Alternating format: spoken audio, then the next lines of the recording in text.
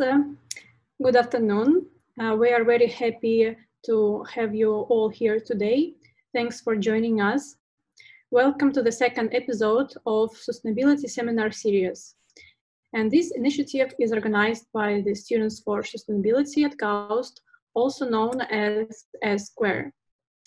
The topic for today's lecture is the COVID-19 world and us. And I am delighted to introduce our speaker for today. And we are so grateful for having him, Professor Tadeusz Patzek. Ted Patzek is a professor of petroleum and chemical engineering and director of the Ali Al Naimi Petroleum Engineering Center at KAUST. Prior to joining KAUST, he served as a professor and chairman of the Department of Petroleum and Geosystems Engineering at the University of Texas, Austin. Between 1990 and, 2000, and 2008, Patzek was a professor of geoengineering at the University of California, Berkeley. Professor Ted Patzek is currently involved in sustainability and environmental research. Here at KAUST, he is teaching a very amazing course, uh, Energy and Environment, previously known as uh, Earth Sources and Sustainability. And this course is uh, very interesting and one of the few courses offered at our university on sustainability topic. And if you're interested in this theme, uh, we strongly encourage you to take this course or audit this.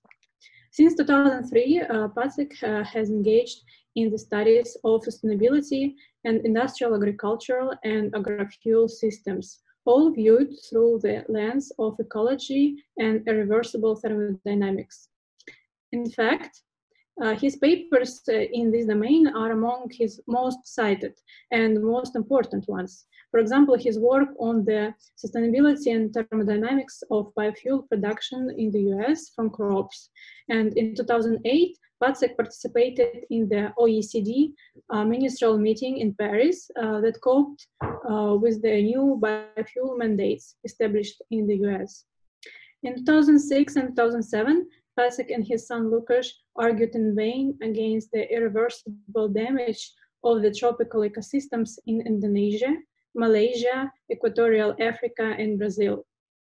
Professor Patzek has a blog about the, about the environment, ecology, energy complexity, and human activities, with about half a million unique readers around the world. We are very happy and excited to have Professor Ted today with us and the floor is yours, Professor. Okay. Well, thank you, Natalia, uh, and thank you everyone for showing up at this late time of the day. Uh, I would like also to thank Aman Al-Haji, who's uh, out there as well. These two young women actually have organized um, this student group, which is actually doing very well and is attracting quite a lot of attention among students and staff. Um, if I may appeal to, for everybody to uh, uh, mute uh, their mics and turn off their vision so that we uh, save on Uh, bandwidth. And I'll share my screen then, if I may.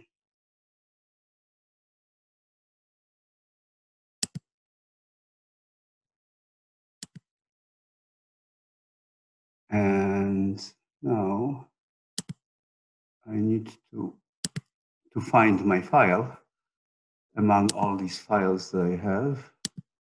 And I did, and that's Control L. And I'll minimize the icons. And now I'm ready to go.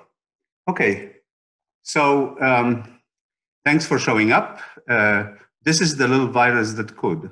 Um, the beast has uh, the size of one over 1,000 of a human hair width, and it really is defeating our global civilization like probably nothing else. So think of the um, scales that are involved here.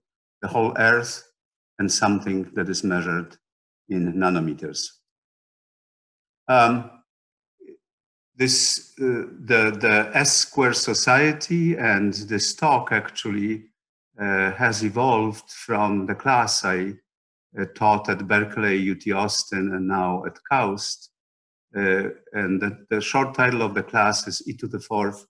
It's Earth, Environment, Energy, and Economics. Economics is in very small letters.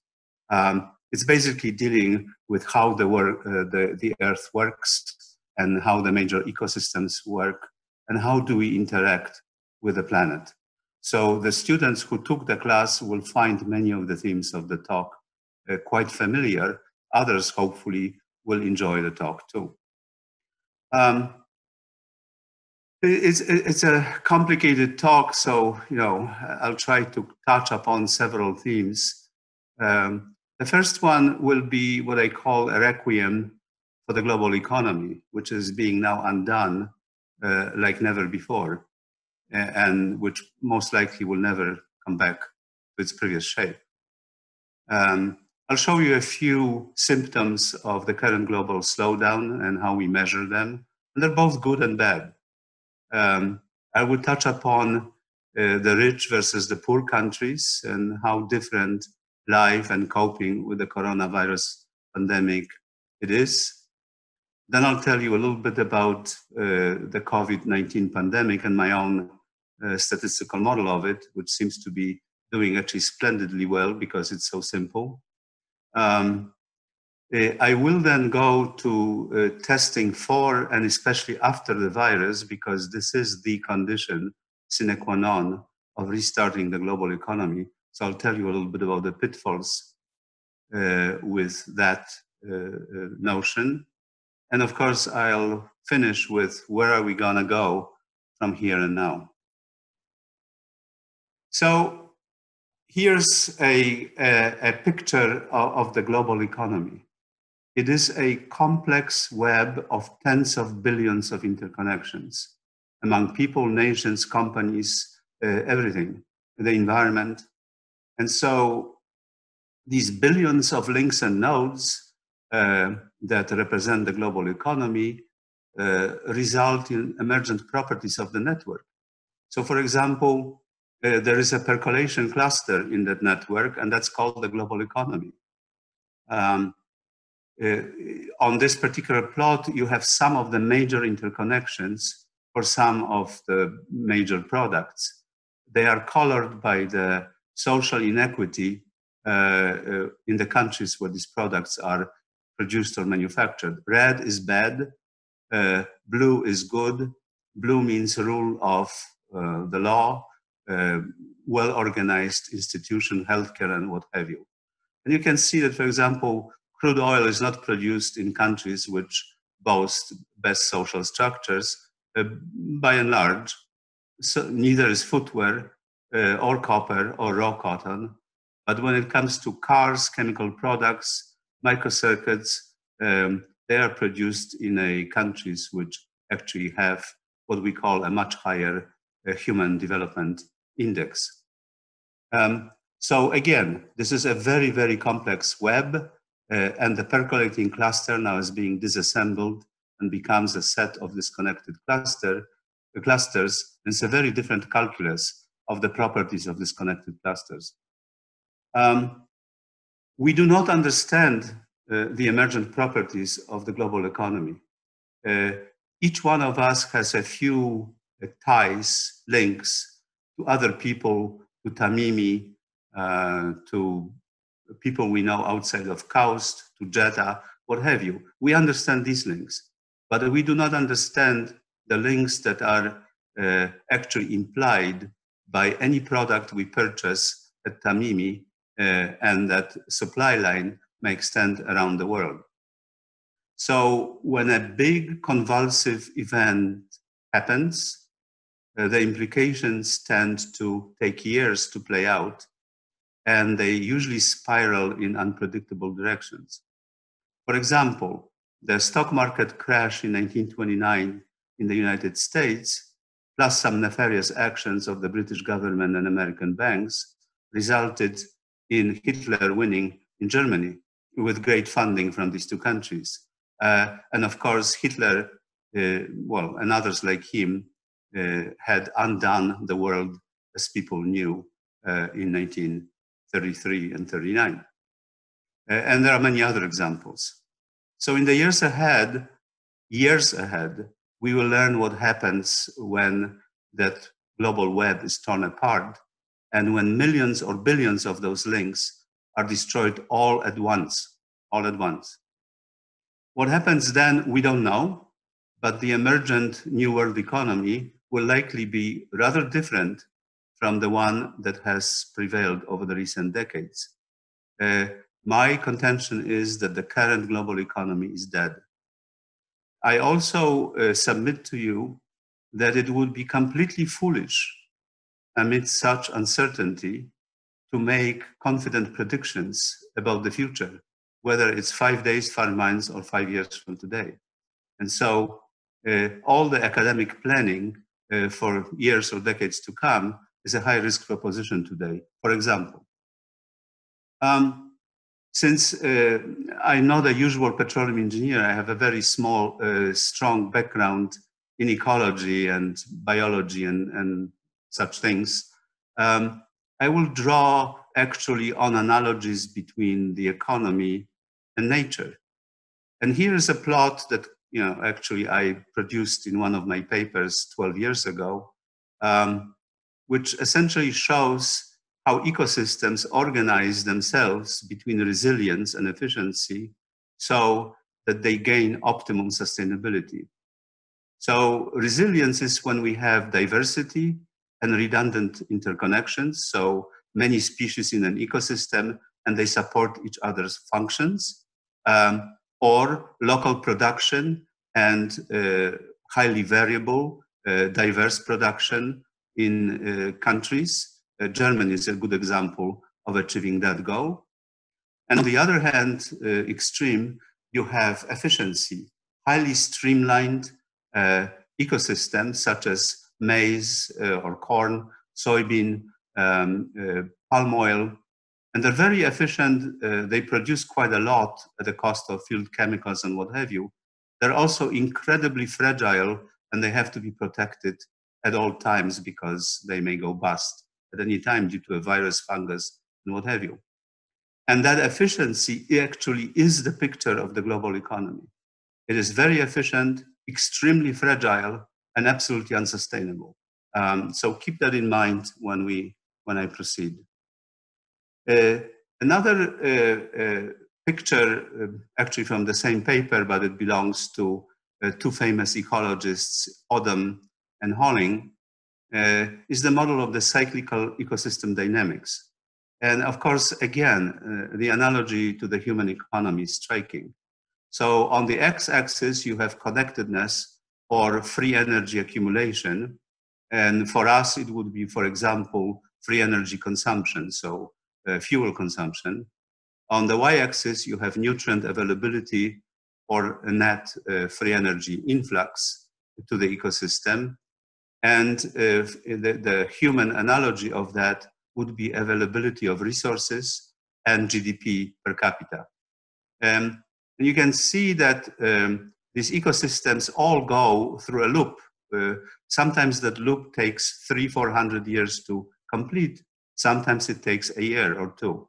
The first one is early colonization, so weeds, bushes uh, that actually colonize barren land, or early expansion of a human society, such as the colonization of the West in the US. Then there is an intense period of exponential growth, which is exploitation, and that would be uh, the period between, let's say, 1830 and 1960 in the US, intense exploitation of resources and growth of the economy. Then we have the climax and conservation at the top. Well, the, the ecosystem or the economy becomes mature and it's slowing down. Uh, and EU is actually a very good example of that. And then you have a catastrophe of, uh, for ecosystems, it's a fire. For us today, it's the coronavirus, which resets the system. And then the system restarts, but never exactly along the same path. Um, so again, keep that in mind that we are actually not so dissimilar to natural systems. So here are the good and bad effects of the slowdown. Uh, what you see here, and most of you probably cannot appreciate, is Los Angeles, downtown of Los Angeles, in absolutely clear air with the mountains behind, showing behind. That view is a rarity because of the remnants of smog from millions and millions of cars driving everywhere, uh, you know, at all times in LA. So that's a good thing. And in fact, air pollution around the world has decreased absolutely considerably and is measurable by satellites uh, everywhere in the world. Um, but there are uh, not so good sides for the uh, human economy. So this is a, a snapshot uh, of the US economy uh, from January 21 to let's say uh, April 1, where bad things really started happening, happening in the US. And you can see the changes of major indices of performance of the economy. So in green, you have groceries. People were stocking up, and I bet you are also stocking up. At KAUST, your refrigerators are full, uh, and then people discover that they cannot eat everything they have in the, in the refrigerator, uh, uh, and then the, the purchases drop down, which is what's happening right now. Every other activity of the society actually went down considerably. So, uh, taking care of your health in clubs and, and, and beauty down, entertainment and restaurants way, way down, uh, you know, around 30% trans- public transportation down around 40%, um, shopping in general down about 60%, and travel um, down about 75%. And of course, that was April 1. Uh, today is April 21. And I think uh, all of these indices went down much further. Um, so this is pretty bad for the economy. Now, uh, because I am also a petroleum engineer, actually, that is my main function at KAUST, uh, uh, I have to watch out really carefully what's happening to the oil markets. Uh, and of course, the main use, user of uh, our products is our cars um, and trucks. And driving is way, way down. For example, in Italy, uh, those little spikes are uh, weekly spikes of driving between one Sunday and another Sunday. Seems like on Wednesday everybody's driving the most. Um, so uh, Italy, in fact, uh, noted uh, driving decline of almost 80%. United Kingdom 61%, US 40, Germany 40, essentially the same. And all of these indices did not go up. In fact, they went down now they're slowly going up. So when your demand for the fuel declines by 40 to 80%, of course, bad things happen to the price of oil. Um, another indicator, which is actually uh, an excellent measure of the decline of economic activity, is electricity use, because so many things in, uh, are electrical uh, these days, including the network on which we all are, and my computer into which I am talking. Um, so we can see that um, from the February average until April 5, uh, the US declined by about 7 8%, Europe about 13%, and Italy uh, uh, around 23%. And of course, you can see that all of these ending segments of the lines are pointing steeply down. That decline continued uh, until today. Uh, so in general, uh, the electricity and economic activity um, is down probably by 40% as uh, industry also is using a lot of heat, not just electricity. Um, in the cities which were hit uh, much harder than average, such as New York, uh, you can see again, these are weekly cycles of use of electricity. Uh, you can see that in general, the envelope, the Sundays declined by about 15% by April 6.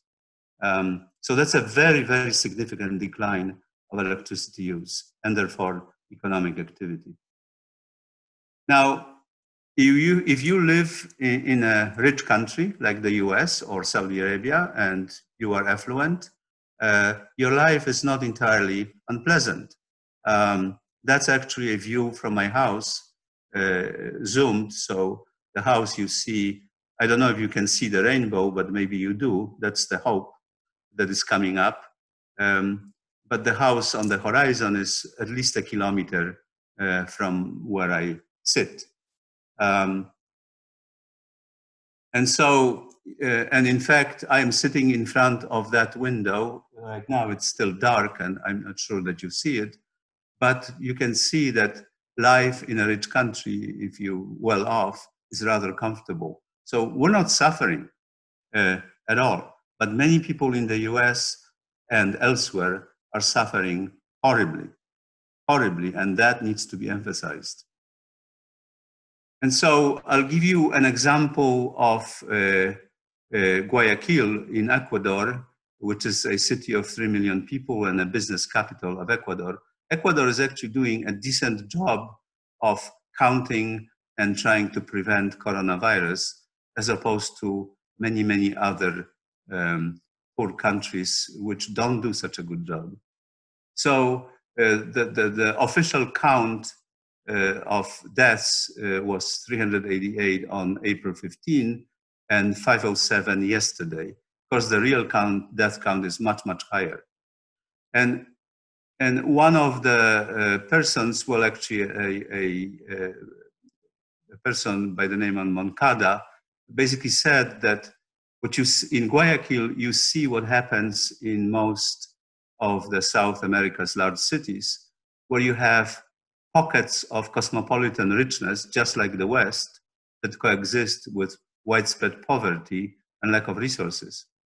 And it turns out that since late March, uh, government this, uh, recovered about 1,400 bodies from the Guayaquil homes at a rate of about 60 a day. So people were dying massively at home. So uh, poorer people have no options. They have to go out and they have to go to a marketplace. They have to mix there and they are exposed to all kinds of uh, environmental factors. The rich people are not. And that's because they have too little money, few or no refrigerators, and they live in very cramped conditions. So that's an incredible risk factor uh, for the billions of poor people uh, around the world. Um, and of course, uh, the medical system is completely overwhelmed. So the bodies keep on piling on the streets of uh, cities, poorer cities all around the world. And that's just one example in, in Guayaquil. So let's switch gears and talk about the COVID-19 pandemic. And the, the picture you see here actually comes from a little hospital in Israel where uh, relatives were allowed to visit the dying elderly patients, essentially parents and grandparents.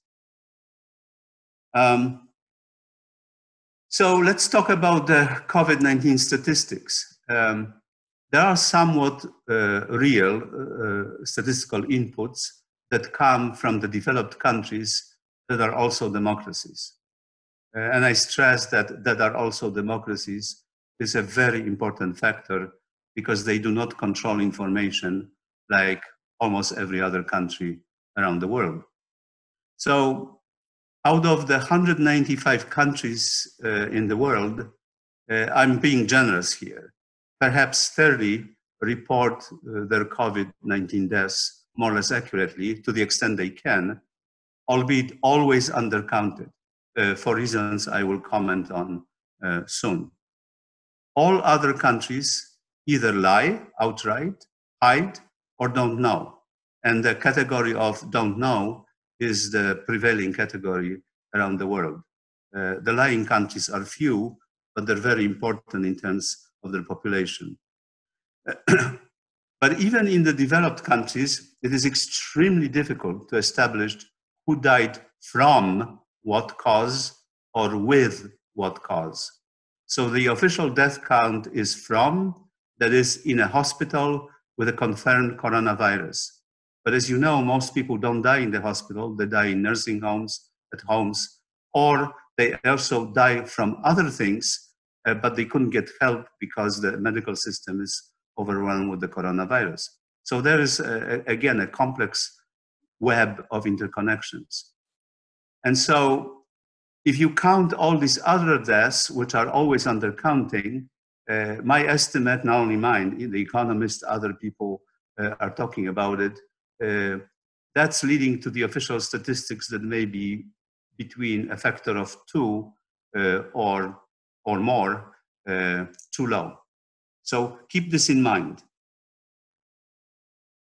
And here is, uh, are actually two good statistical examples of how deaths are undercounted, uh, not because of ill will, but because of the inability uh, of the government to actually uh, know what's happening.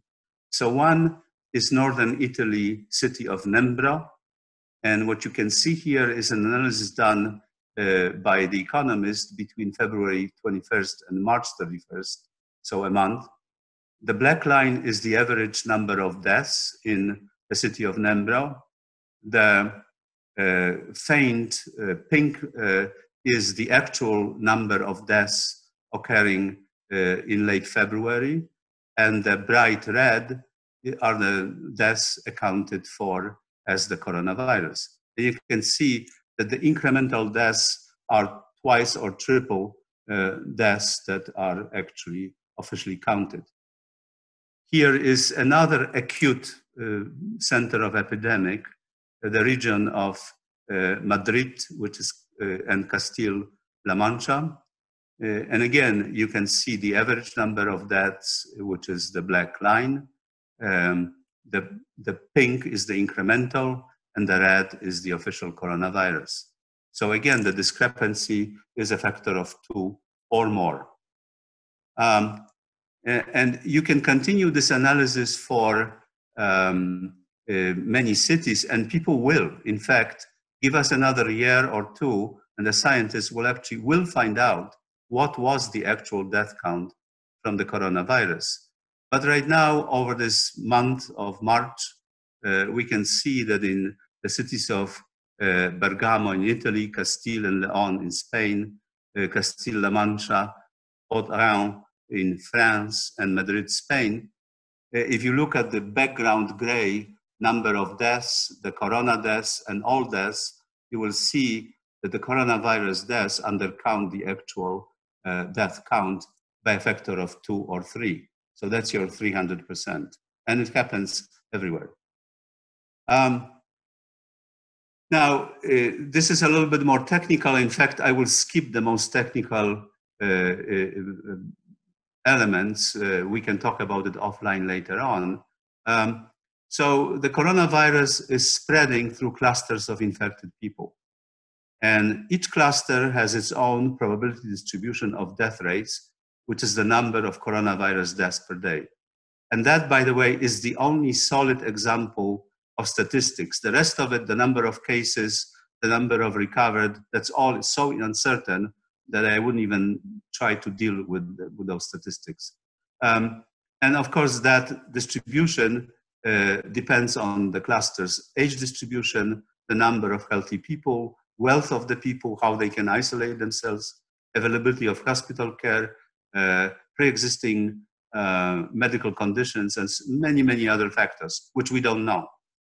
And the cluster's probability distribution has a finite variance and a well-defined mean or expected value. That's by the physics. Nothing is infinite in this world, except for human economy.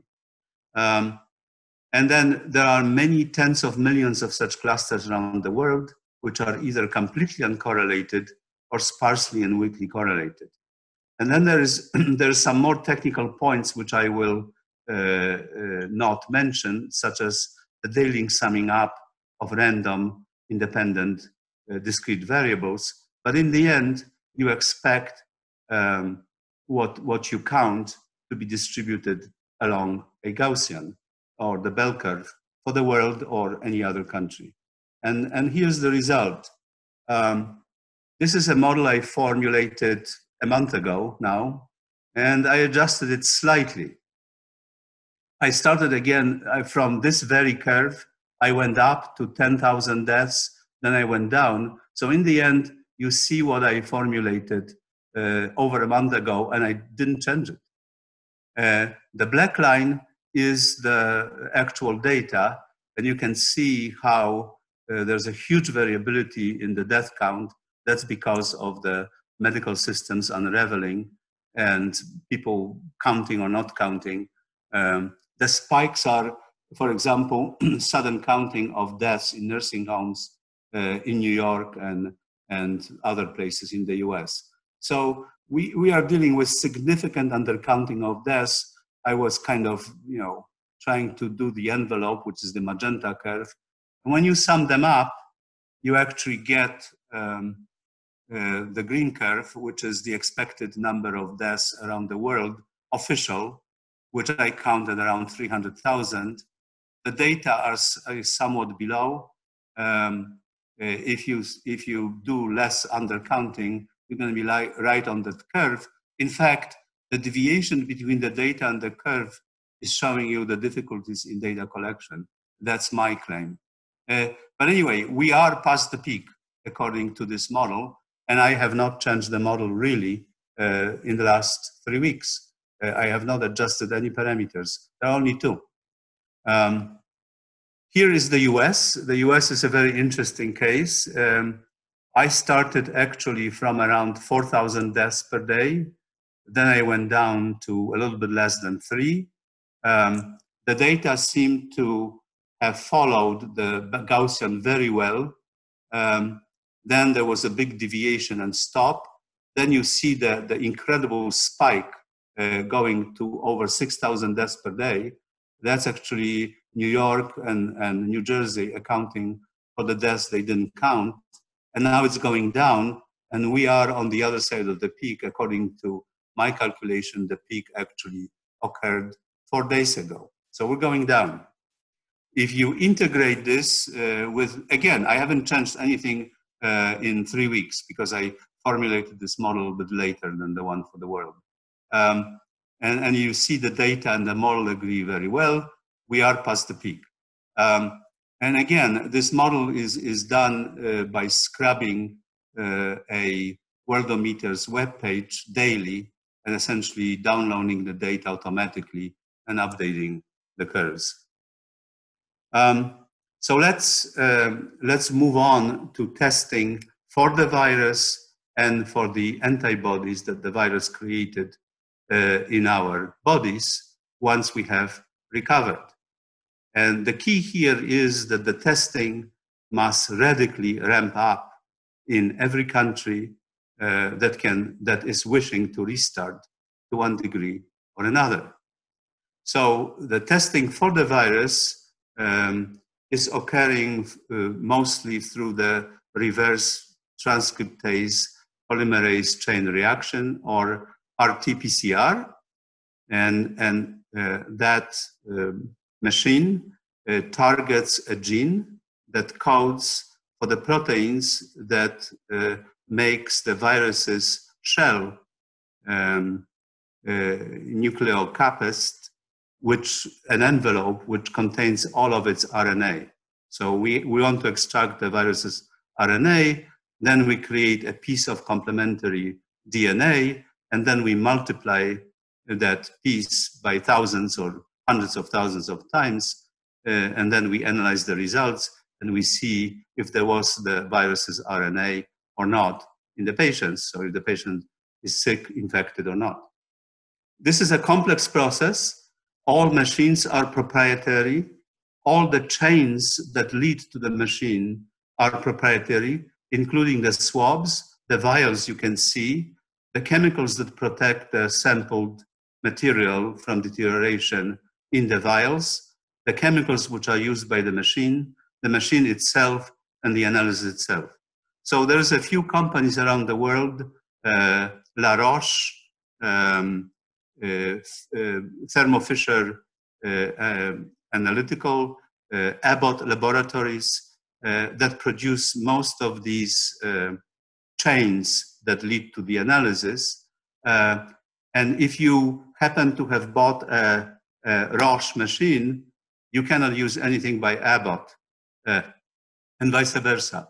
And these companies have a very difficult time keeping up uh, with the supply chains and scaling up uh, to uh, the necessary levels. Right now, the vials, swabs, and chemicals in the vials are the missing link. And that's why in the US, the states cannot actually ramp up because they don't have enough uh, supplementary materials. Now, there is a, a several uh, startups, young companies in California, and that's Cepheid, Mesa Biotech, and of course, there's also Abbott Laboratories, which are promising to shorten the test from a day or more, several hours to, to a few days, to 15 minutes for the Abbott Laboratories. So that's a huge um, progress in a very short time, um, and hopefully this testing will be done. But then, after you're done, we want to test for the antibodies in your blood uh, that uh, actually define your resistance to further infection. So right now in the US, we have 45 tests per 100,000 people. That's on April 15. And in order for us to get restarted, we need at least 150 tests per 100,000 people um, as a seven day average. And we're not there. And in fact, we cannot get there despite the false promises of the federal government because simply the supplies aren't there. Um, so uh, let's, uh, so when we are ramped up and when we do massive testing, we will receive certificates of immunity from the COVID-19 and this will allow us to operate normally uh, in, the, um, in the society. And of course, uh, these tests are monitored by the US NIH and FDA, National Institutes of Health and Food and Drug Administration, and they're coming online. And so I'll talk about one of these tests uh, uh, and what happens when you have a positive antibody test. Um, and people need to understand the statistics of it to save lives. So this is very important, pay attention. So for example, a company by the name of Cellex makes an FDA approved antibody test. And the goal is to test for immunity due to prior exposure rather than active infection. So you are now recovered, you've been exposed to the virus. Okay? So Cellex's um, sensitivity uh, is about 94% and specificity is about 96%. And the sensitivity means the probability a person tests positive when they are infected, and the specificity is the probability that a person tests negative given that they are uninfected, not infected. And that, and that those numbers, 93.8 and 95.6%, simply mean that 6.2% of people who are positive test negative, and that only 4.4% of people who are negative test positive, so false positives. What does it mean then when you test positive? And here, actually, our sciences are at a distinct advantage because we all are used to Bayesian statistics, Bayesian learning, and conditional probabilities. And but the, this graphic was developed actually. This is your peer reviewed on Twitter by a whole bunch of people who are looking at the results, and that's a beautiful graphic that illustrates uh, the risks. So let's suppose that I pick a random sample of one million people and the incidence or the rate of infection is 1%, which is actually typical of most populations today. Uh, and I use the sensitivity and, and selectivity uh, of, of, of this test as advertised. So there is 990,000 uninfected people in that sample. And uh, given the sensitivity, I'm gonna get about 44,000 of false positives. Then there is 1% on, or 10,000 of people who are infected. I will detect 9,380 uh, of these people that they are actually were infected. And then 620 will go undetected. So let's calculate the ratio of the false positives to real and, and express them as uh, percent, which means in that particular case, 82% 82% of positive tests are false. which means that your sense of security, uh, given a positive test, is in fact false. So we have to be very careful. So here's the take home message. Um, the high sensitivity, so the probability that you test positive when you are positive, that's 94%, does not mean that the conditional probability that you are positive when you test positive is high. That in fact, 82 out of 100 people in this example who get a positive test will be still susceptible to the virus. And only 10% of the population, once uh, 10% of the population is infected, this drops to 30% or 3,100 people. But that's a lot of people. So we have to be careful. So if you get a positive antibody test and you think that you're immune and, and quit socially distancing, uh, you are far more likely than not to make a big mistake. And when millions of people make the same mistake, then we have a problem because many people uh, may die in addition. And this is recorded. You can actually download the calculator or you can use the online calculator of these conditional probabilities and make your own calculations. So where and when from here? And, and usually this quote, the higher I go, the behinder I get, that's attributed to Lewis Carroll, my beloved author. It is not. And it doesn't belong to the white rabbit in Alice in Wonderland. So I have to set the record straight here because I care so much about Lewis Carroll. But anyway, we are a, a, a civilization in a hurry and we want to get out of everything running. And I just told you is that we need to take it one step at a time because the risk of making serious mistakes is incredibly, incredibly high. So let's talk now about uh, oil consumption. And, and I talk about it uh, not to irk the good environmental people among us here, um, but because there is a tight one-to-one correlation between GDP of each country and the world and oil consumption. In fact, uh, there probably are very few things which are better correlated. So we can see how uh, the annual growth uh, has been going on from the first quarter of 2007 uh, up until uh, the second quarter of 2020 and the prediction to the end of 2020.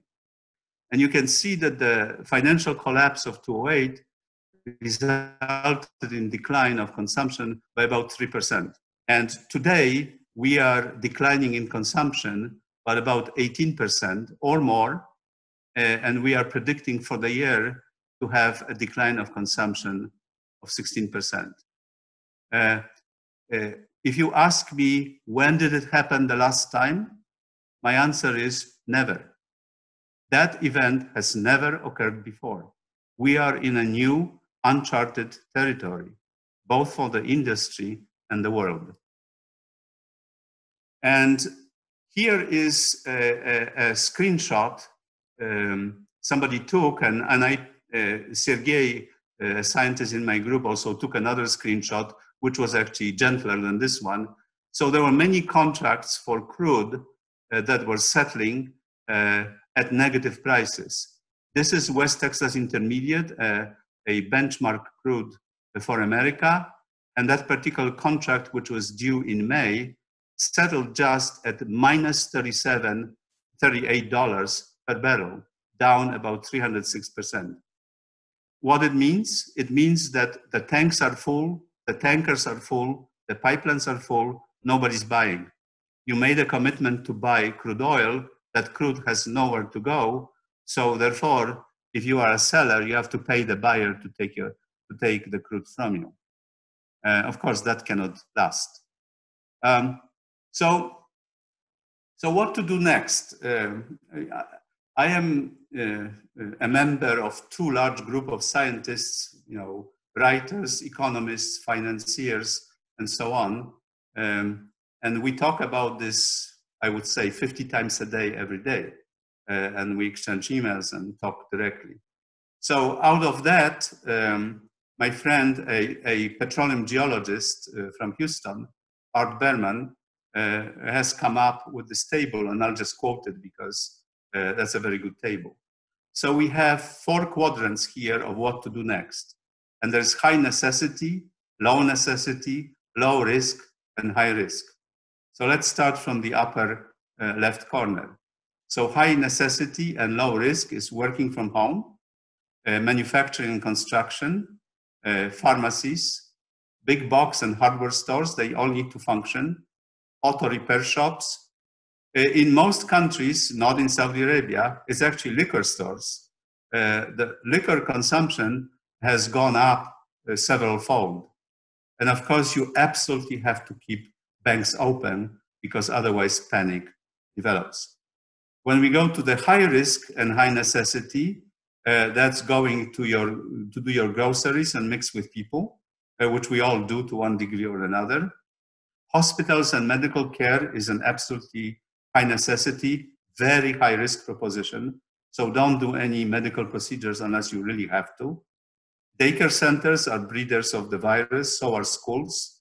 Um, food supply and distribution uh, is actually also a breeder of coronavirus. So in the US, as a perfect example of a highly optimized, absolutely fragile supply systems, we have two meat processing plants in South Dakota and Colorado, which process around, uh, around 80% of all meat in the United States. In South Dakota, there were 200 coronavirus cases among the workers. The plant shut down, so did the one in Colorado. So you defeat the entire supply systems by having it so efficient. And of course, the goods distribution, the Amazons, UPSs, uh, with all the people who work there, are absolutely necessary, but they have a risk of gaining coronavirus. Low necessity, all the things I won't even mention, such as the one we're doing right now. Uh, we don't have to do it, we do it, but that's fine. Um, and then low necessity and high risk, there would be tourism, air travel, uh, cruises. Well, cruises are no more, not for a while. Uh, having a drink at a restaurant or a dinner, movies, theaters, uh, going to a soccer game, uh, to a shopping mall, uh, to a gym or swimming pool, uh, to a salon and spa, and to a museum. So all of these activities will essentially either cease or be greatly diminished for the months or even years to come. And uh, finally, just to finish, to wrap up and leave some time for uh, questions, uh, here's a view from Antwerp, the petroleum center, and the oil patch. Um, the old global and many local economies are expiring as we are speaking. And in fact, we don't know in most cases how bad this is. Uh, it really will become apparent by the end of May and in June. So May, June, July are the crucial months to see, to uncover how bad things actually are. Uh, reopening is a partial solution with unknown and unintended outcomes, as I just outlined with the massive testing. All markets will adjust and prices will increase slowly, very slowly, once there is a clear path uh, out of uh, this economic closure and some employment. Uh, there's an interesting point. We try to manage oil markets, and this effort has failed miserably. So miserably that the entire countries are, in fact, now in trouble. And one of these countries is Saudi Arabia. Um, the world in depression will need more oil than ever. That is, to restart, we're going to start using oil everywhere. And unfortunately, uh, and sometimes to great detriment of humanity. Oops, I misspelled this one. Um, I, we will pay less attention uh, to environment, renewable energy, and climate change. So there will be bad things happening in these areas.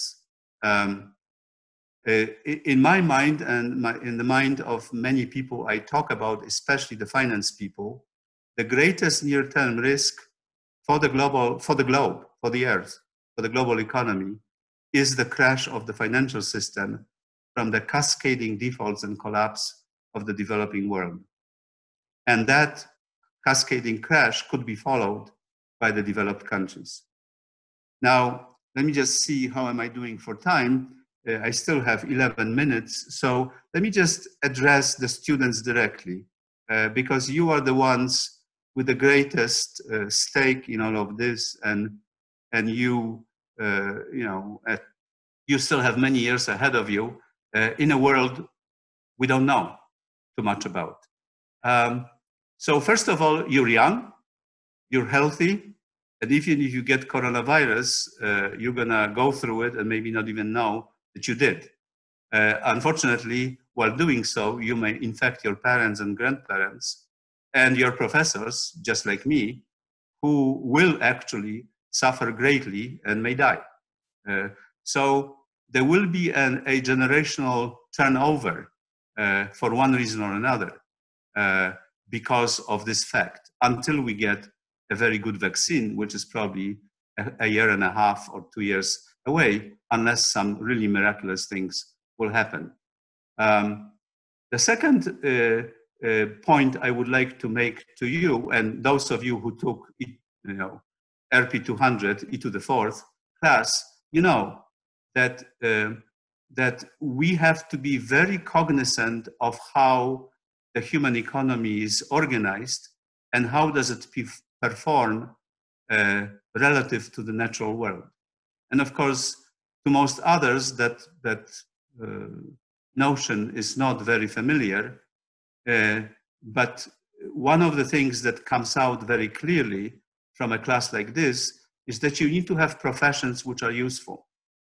And especially in hard times like these, hard professions which will deliver value to the society, not be esoteric something that I might publish 10 years from now, uh, will be valued. Um, the uh, professions that do not render immediate value to the society will not be valued and you will not find employment. Now, employment will be in general a very difficult thing to find. So uh, in this new economy, I hope there will be many young startups companies led by the young people who will create a new web of links and create a new picture of the global economy. There is a, a downside to this. All of these startup companies need capital to get started, and capital right now is frozen. So it is absolutely incumbent on the governments of this world to provide capital to the people for the people, not capital to large corporations so they can buy back their stock and become even richer and more oppressive. And so uh, that is unfolding in different ways and in different styles in most countries. The US has a giant stimulus package uh, of $3 trillion plus and growing, which is actually, I would say, 50% misplaced and is going to do some real damage to the real economy before we find how to use this river, ocean of money better. With that, I am open for any questions you might ask, and thank you very much for your attention.